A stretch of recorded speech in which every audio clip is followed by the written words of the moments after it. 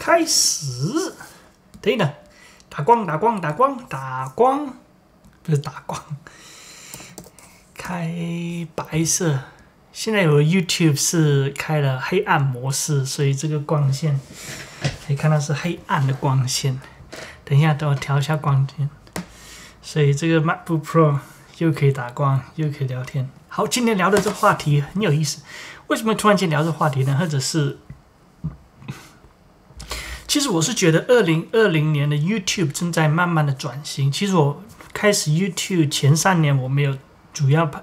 我拍视频拍了三年。但是到我刚当我刚开始拍视频的时候，我上传了三个网站。那时候想，YouTube 是其中一个，然后优酷，然后 B 站，然后今年开始就是这个月开始，然后我就打算只关掉了两个，就专心是做 YouTube。所以之前的前三年我不是很认真的做 YouTube，但是我都有看 YouTube，所以我一前三年一直是一个 YouTube 的观看者。然后 YouTube 刚开始从零订阅，刚开始到好像是一千个订阅者，你才可以把你的广告的收入给开起来，好像是 Monetization 开起来，好像我开起来好像才一年多，就等于是。我真正收到 YouTube 的钱应该是有一年多了吧？是不是差不多？你忘记看我以前的一千个视频，然后现在基本上是每个月都有那么一点点收入，不是很多了。现在我的收入大概可能每个视频一个英镑大概左右。当然，旧的视频还是一直在，就是旧的视频视频像存款在那边，每个月还是有收入。所以 YouTube 的视频就是很有意思，但旧的视频其实它还是有在赚钱的。虽然只是几批或者几块钱人民币这样子，但是至少积少成多。现在基本上每一天我都可以有一杯免费的咖啡，这是现在我的情况。然后当我刚开始拍摄视频的时候，我不想被所谓的订阅者这些所捆绑，或者不是捆绑，就是觉得好像被压着我走。就这个视频，我想拍，我想怎么拍，我想怎么创作，就是完全是由我做主，我就。尽量，或者是调整我的心态，不要被我的订阅人数，或者是所谓的流量，成为他们的奴隶，好像他们才是我的老板。其实这个应该是我是这频道的瓦西人、扎菲人，最喜欢炸飞人这种感觉。所以，anyway，其实我是蛮喜欢讲 anyway 的。anyway，所以这个就算我这个月算我一个新的 YouTube 一个开始。今天跟他聊的这个话题就是 YouTube 要成为一个 YouTuber，。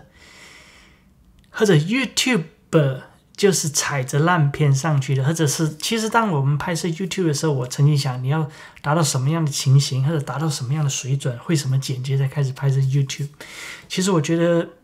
我看了很，其实我在看 YouTube 已经看了五六年了。每个 YouTube 当我看 YouTube 让我看的时候，我都看到他们流量哇，都是他们很厉害，我没有他那么厉害。其实当你看任何一个 YouTube 频道，你看到他们最早的视频。你看回我最早的视频，你会发现很多视频都是由最烂的视频开始拍起的，可能前一千集或者前五百集都是很烂的视频。所以，如果你问我 YouTube 有什么秘诀，YouTube 就是等你拍了一千个很烂的视频，曝光、声音等等、内容等等，或者是讲解等等很烂的视频以后。你才刚开始懂得怎么去拍 YouTube，因为拍 YouTube 跟你拍电影、拍电视剧、拍很多是其他很不同的东西。可以讲 YouTube 是一个由你自己去发挥你自己的风格的一个平台。当然，当你拍电影的时候，电影有它的规格，有它的风格。当你尝试不同风格的时候，观众未必会接受，因为它是买票进去的。而电视台有电视台的风格。就是基本上你要跟着电视台的风台台风去剪接，而 YouTube 的话就是你自己去建立你自己平台的风格。所以当你拍 YouTube 的时候，你可以有任何内容、任何的制作、任何想法，你可以天马行空。差的就是不一定会有人看而已。所以 Nothing to lose，没有任何的可以失去的东西。所以拍 YouTube，我觉得就是由一千个很烂的视频制作开始。我。自己这是我自己体会了，所以当我拍了一千个很烂的视频之后，我大概想到我应该怎么拍。所以以前我错过的太多了，比如说，可能我真的很想拍一集关于讲这 GoPro Eight。现在最近拍摄 YouTube 的时候，我蛮喜欢用 Hero 八来去拍摄，因为小轻便，声音比够用，不是太好，但够用。可能有一集在拍，就是你会发现，当你出去走的时候，当你出去想的时候，题材的时候，你开始有一个 YouTube 的思维。就以前你拍摄的时候，你可能只是一个摄影师的思维。摄影师的思维跟 YouTube 的思维很不同。摄影师的思维是站在相机后面去拍、去叙述故事，而 YouTube 的思维是需要一点导演的感觉，或者导演怎么叙述故事，要一些摄影师的技巧，用什么样的角度，用什么样的灯光啊，这灯光比较好，或者还要一些演员的风格，就是你在镜头面前如何去表演、呈现你自己的。东西还要一些后期制作的耐力，就基本上你要熬夜把你的影片剪接出来，所以等等你会发现，YouTube 所需要的东西真的是要最省的时间，就扮演很多个不同角色去完成。所以我觉得二零二零年 YouTube 正在转型，所以你发现很多 YouTube，我觉得 YouTuber 面对很大的挑战，因为你发现如果五年来讲。是一个潮流的转变的话，就基本上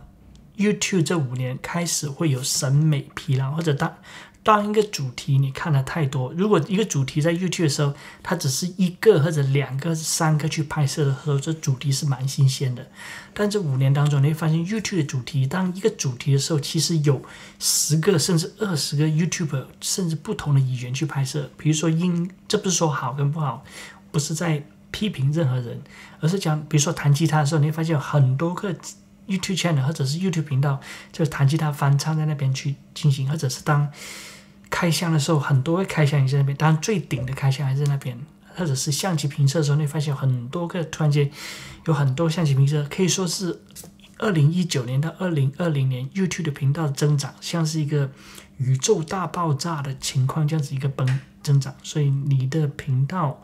有什么样的风格，或者开始要想什么样的方向，这是你应该去考虑的。但是我觉得，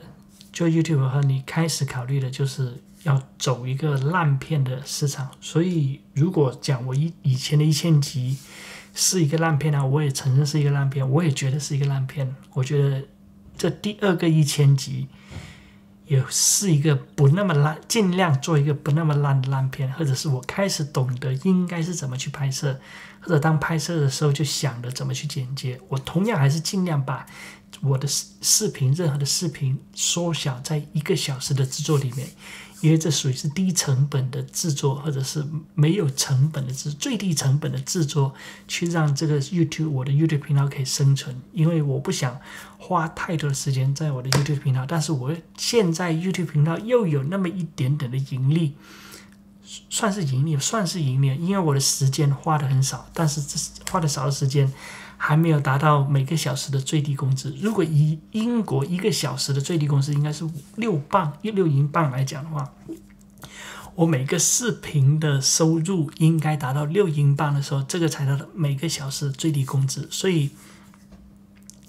我觉得还是要努力了，还是要继续前进了。所以，如果你是看我的 YouTube 频道的话，你不一定要订阅，也可以随时取消订阅。我们好聚好散，这个就是我的。心态，或者就是我不强求你一定要订阅这频道，我也不强求你一定要心认同我所讲的观点，我也不强求你一定要听我讲的话。但是如果你愿意坐下来听的话，就是表示我对你有那么一点点的共鸣或者启发。那这样子，你随时离开也是可以，可能就让我暂时走，陪你走过人生的那么一段。我不知道我这频道会做多久，随时可能这也是我最后一个视频。只要我想停止的时候，我还想去停止。所以这个开始拍摄一千多集的时候，开始懂得我的方向，懂得我的频道的中心、频道的价值、频道想做的东西，开始会越来越清楚我想做的是什么，而不是别人给钱要求我去做什么。这个是很不同的感觉。所以这个。我同样的这一千集，我还是这频道的诈费人，这频道还是由我瓦西，还是我一个人去承担这一切的策划、拍摄、灵感、表演、剪接、上传等等，巴拉巴拉巴拉这些东西。所以，如果你也想做 YouTube，你要想清楚，现在基本上我相信 YouTube 的数量可能很快就会超过中国人口的数量。我不知道，但是知道你会发，我会知道现在 YouTube 现在变成很多很庞大的一个群体，但群体庞大的时候，内容就很难去创作跟突出。我也知道，或者如何在众群当中有你的特点就很难。但是二零二零年也是一个充满挑战的一年，所以我的频道的价值就是以最低的成本。赚取最低的利润，够生存就好。揾食啫，誒，俾俾俾條生路行下，周星周星驰。好了，这个是今天的。突然间看一个 YouTube 的时候，看一看，突然间，因为刚才就是看一个 YouTube 看的时候，就翻到他以前五年、六年、七年前的视频，你会看到那些流量，看到那些剪接、那些制作的时候。每个 YouTuber 都会经过所谓一千集不是那么好的流量的东西，或者是不是那么，你不要想，你一拍个视频一放上去就很多的点击，或者就一炮而红。如果是有这样子的创作者的话，一炮而红，很快他的那个第二个视频或者第后面的视频就会压力很多。所以我觉得 YouTube 应该是像爬山这样子，一步一步、一步一步慢慢的来。我所以我觉得我就是一步一个脚印这样子，按照我喜欢的这样去做，按照我随心的这样子去讲，按照我真实的这样子去分享。所以也不需要有任何的哗众取宠，是不是取 网吉瓦那个叫什么花花众取？反正你们懂我讲什么，就是你需要用一些违反你自己个性、你自己心里面不是这样想，但是为了取悦观众的时候，去尽量去让你做你自己不喜欢的东西。这个是我觉得我应该不会去做的，因为这个就是我的底线，也是我创作的底线，或者也是我建立这频道的底线。这频道 YouTube，YouTube 就是 You 你自己的传播，就是我自己的传播。我觉得这个就是今天的这这这一个乱七八糟的主题，所以做 YouTube 真的是从一千个烂的视频开始，可能可能主题就用这个话题吧。所以我觉得，如果讲 YouTube 哈，之前我记得上一集我讲我是一个 YouTuber 吗？当我刚开始收到 YouTube 的第一个收款的时候，那个时候是打的问号。但是这一个，我觉得今天才真正开始，可能我可以讲是才开始算是正式的一个 YouTuber 吧，可以是这样子讲。因为这个时候我的想法、我的剪接、我的计划都是以 YouTube 的盈利或者 YouTube 的维持这个频道的维持，无论是直播也好。无论是拍摄也好，无论是会员频道也好，无论是任何的方向都好，开始有慢慢的形成了一个 YouTuber 的思维，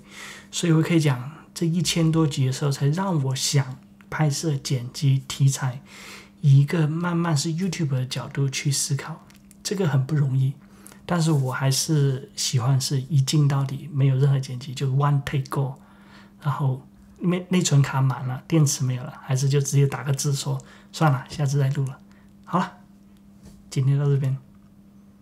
下次见。